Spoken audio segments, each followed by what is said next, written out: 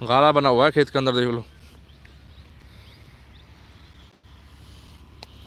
जहाँ पे भी घास है, वहाँ पे मारते चल रहे हैं। बहुत अच्छी चल रही है मशीन भी इस टाइम पे, और चलनी भी चाहिए, क्योंकि नई लाए हैं, अभी तो सही चलेगी चलेगी। कुछ टाइम तक तो चलनी चाहिए, सही। और हम तो चाहें हमेशा ही सही चले अपने जो हम इसी तरीके से अपनी दवाइयों को मारते हैं खेत के अंदर इसी तरीके से।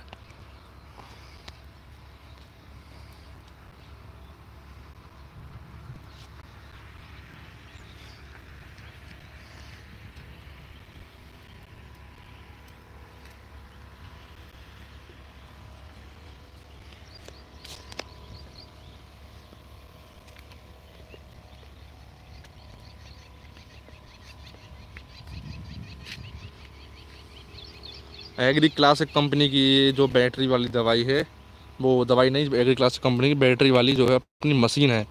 इसको भाई लोग हम चला रहे हैं घास मारनी दवाई के लिए। इधर आप देख सकते हो किस तरीके की जो मशीन है ये, और दवाई भी किस तरीके की लग रही है। फुब्बारा बहुत मस्त बन रहा है एकदम। किसी भी तरीके की जो ज़्यादा दवाई नहीं जा रही है, ना कम जा रही है। एकदम बढ़िया जा रही है, हल्की दवाई जा रही है। और ज़्यादा से ज़्यादा फैल भी पा रही है।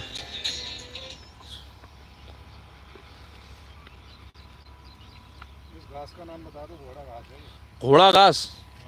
भाई साहब इस द घास का नाम भी है घोड़ा घास दवाई वो घास है ये।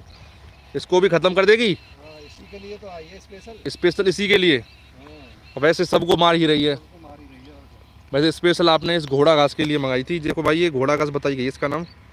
इसको आप देख सकते हो एक बार। ये खेत के अंदर जो झुंड से फैल जाते हैं चारों तरफ़। धान का पेड़ एकदम सीधा चलता है और इसका पेड़ ऐसे फैलता हुआ चलता है दोनों साइड। तो इस वजह से इसका नाम घोड़ा घास रखा है नहीं किस नाम से रखा है, पर घास मरनी चाहिए बस, मरने से मतलब है घास मर जाए।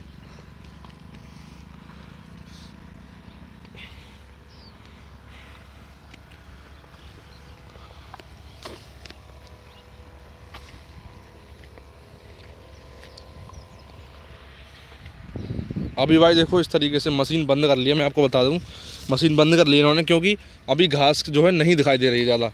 तो मशीन को बंद भी कर लेते हैं अगर ज़रूरत ना हो तो। अभी चालू कर ली इसकी आवाज़ सुनो आप कितनी कम है? बहुत कम आवाज़ बिल्कुल सुनाई नहीं दे रही आवाज़ तो इस मशीन की। एकदम बढ़िया मशीन है। ये घोड़ा घास फिर आ गई? ये बताओ इधर ये धान जो आपके बेगरे से क्यों इधर कम कमज़ोर क्यों आपका पौधा? गर्मी की वजह से मर गए टेम्परेचर ज़्यादा रहा और आपने धान जल्दी लगाए थे।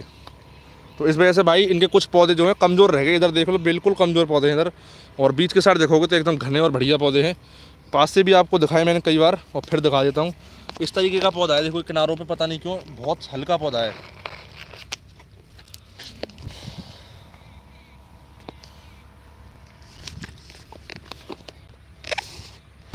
ये आप भाई देखते रहो हमारी लाइफ के अंदर इसी तरीके से जुड़े रहो। आपको हम इसी तरीके की सारी इन्फॉर्मेशन सारी जानकारी आपको देते रहेंगे।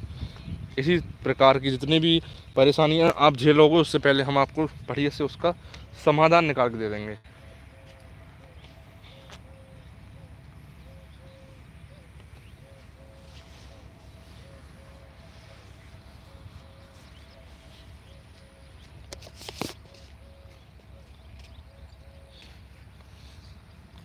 एक बार और दिखाता हूँ आपको।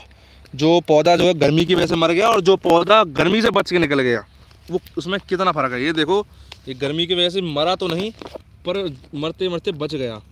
इसकी जड़ें देखो कैसे कमज़ोर हैं। तीन तीन पौधे इसमें से बस निकल के आ पाए हैं। तीन जड़ें। ये पौधा है कुछ इस प्रकार का। और जो पौधा भाई बिल्कुल गर्मी से, उसे कुछ नहीं भी नहीं हुआ, वो पौधा है ये है। ये देखो, भाई साहब कितना बढ़िया मज़बूत पौधा है। ये तो भाई बढ़िया है एकदम, देख लो। इसमें तो कितनी जड़ें निकल रही हैं और कितना बढ़िया पौधा ये है और इसके मुकाबले देख लो।